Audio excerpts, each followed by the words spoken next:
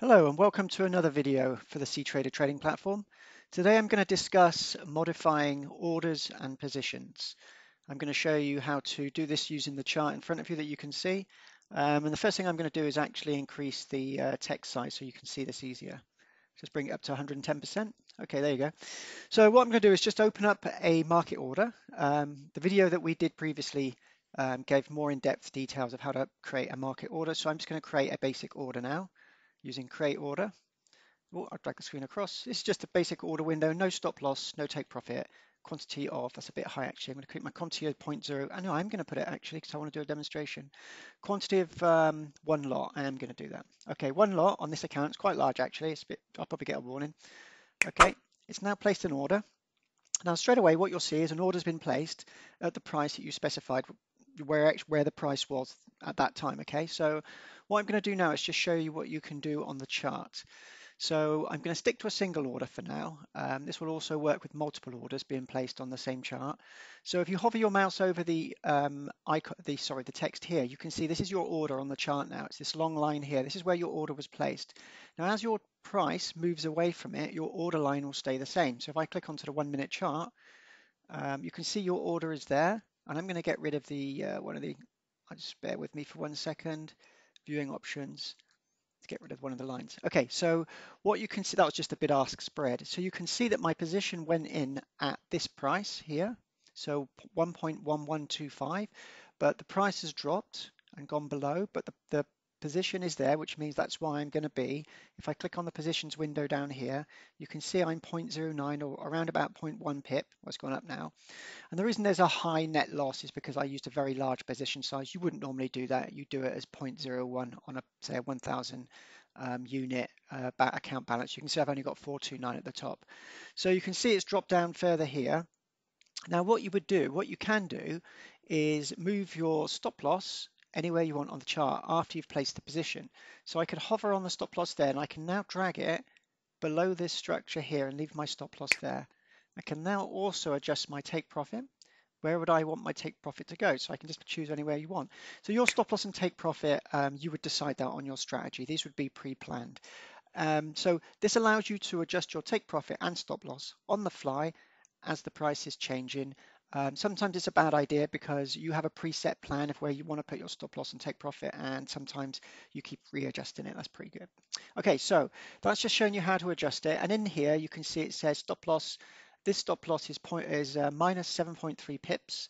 Um, away from the price and if the stop loss was hit you would lose or I would lose $73 now again the take profit is 4.6 pips away if it was to hit the take profit, I'd win $46. This just gives you an idea of how, how that works. Now, if you go to the right here, it's got four buttons. There's a shield, there's this one, this one, and this one. If you want to know what they are, it's also shown down here. So this one here is your reverse position. This one here is to double your trade and this button here will close your position. So for what I'm going to show you to start, that's probably going to hit the uh, take profit in a minute. If you wanted to double your position, you would just click on there, okay, and that would double your position from uh, one lot to two lots. Um, if you were to click on there, it would reverse the position. I'll just quickly show you now. It would lock in the profit. So it'll close the position, lock in the profit I've got there, which is like $10, and open up a uh, sell position. I'm just going to do it anyway. Okay, it's opened up a sell position now. Straight away, because the spread, I'm, I've lost uh, a certain amount, the bid-ask spread. So now I can adjust the stop loss and take profit again. I can go to the history window, and it will show you the position that would close just then. Um, going back to the positions now. So, okay, so now I've opened up a new one, which is a sell, um, which is going in the opposite direction now. And again, I can set my uh, take profit there and put my stop loss anywhere I want. Now, we've just showed you there how to do a reverse. So to quickly reverse a position if you feel it's going against you. Um, the other button there is to double the position size. Now, if I do that, it'll have a two, I probably get a margin call because I've got, it's too large. But what it would do, it would um, create a new order, which is um, double the amount. So it'd be two lots in the same direction with the same take profit and stop loss. And again, if I click on the X, it will actually close the position. Now, the one at the start that I didn't show you here, the shield, if I click on that, that's advanced take profit. Now, advanced take profit is what I wanted to show you. So I could say when I'm uh, two pips up, I want to close um, because it's one lot, I can do 0.25, which is a quarter of the volume or a quarter of the of the size of the position. I want to close at two pips in profit. When it's um, like for example, when it's three pips in profit, I want to close another 0.25. Okay. Now, if I did this, it's not letting me do that. 0.25. Okay. Now, if I do this and apply, Oh, it's already two pips. The reason it's not allowing me to do that is because it's already two pips in profit. If you look down here, it's 2.8 pips. So the whole idea is, I think you get the idea is if I set a value here, say that is 10, that is 4 is that is 10. So what that would do at 4 pips in profit, it would close a quarter of your position size, 0.25 lots. When it gets to 10 pips profit, it will close another quarter, and the remainder will run until it hits your final take profit. Now, if you have a look on here, your take profit itself is behind your advanced take profit. So you really want to do your hard take profit to here. That's a server side take profit. Now, these advanced take profits you've got here, okay, which is the five pips and the 10 pips now, uh, what will happen, I'll just explain it one more time.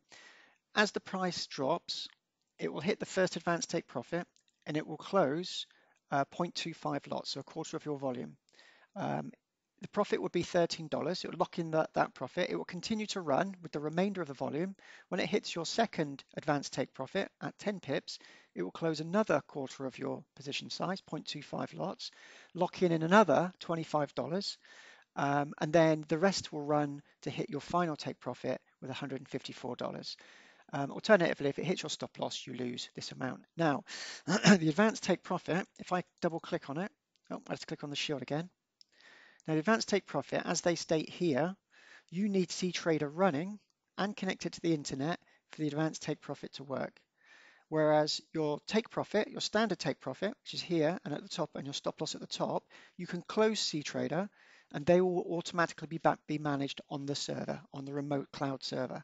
So you could, you don't have to have CTrader running for your stop loss and take profit, but you do need CTrader to run for your advanced stop loss and take profit.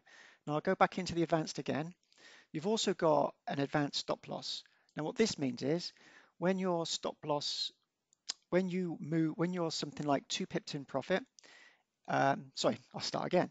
When you're gaining 10 pips, it will move your stop loss to break even and then it will add another two pips to cover any financial loss and stuff like that. So if I click on this, what it's done now it's actually um, set up a stop loss, a trailing, uh, sorry, uh, a break even. I'll go back into it and explain it a bit, bit, better than I am actually. Sorry about that. So what it's going to do, it's actually a break even stop loss. So um, it's stating that um, if your position goes to 10 pips in profit, it will move your break even. Now you don't see it on the chart, it's hidden from the broker. It gets managed by the um, trading platform. Again, you've got to leave it running for it to work. Um, so it's a standard break-even stop loss with additional pips to cover any um, costs that might be involved with opening the position. So you could have a financial break-even, okay? So I'll apply that now. I have to cancel that because I didn't change anything. Okay, so that's your setup there for a single position with advanced take profit. Okay, I'm going to close that one now. That's close the entire position there, okay? So now that's just positions. Um, sorry if I was fuddling it a bit there because it's quite difficult doing the video sometimes. So what I'm going to do now is orders. So I click on the orders tab and I want to create an order. Now what I'm going to do to create an order is a, is a method, I'm just going to drag a limit order at the top there. Okay, sell limit order's just been placed above the price, hasn't been hit yet. Now this order hasn't been filled yet. It's something that you've placed hoping that the price will eventually reach it. I can then set my stop loss up there, my top loss, uh, take profit down there. And again, you can modify an existing order before it's been filled. And once it's been filled and it becomes a position, then you can take, you can start using the advanced take profit and all the other features that I just showed you previously.